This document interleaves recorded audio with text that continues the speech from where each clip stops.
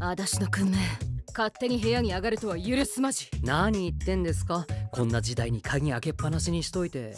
個人情報盗まれても僕は知りませんよ。当然だろうが持ち出したのは本だけだろうね。命の恩人を盗人扱いとは随分ですね。安心してください。軽く見ただけですから。その割に路地裏の私を見つけるのが早かったがそもそもどうやって私を見つけたんだ？知りたいですかすみれこさん。ヒントをあげましょうトリュフ豚は50メートル離れたところに埋もれた香りも嗅ぎ分けて追跡するそうですよ。次回校舎とよだれと団地妻。私の君君はトリュフ豚だったのか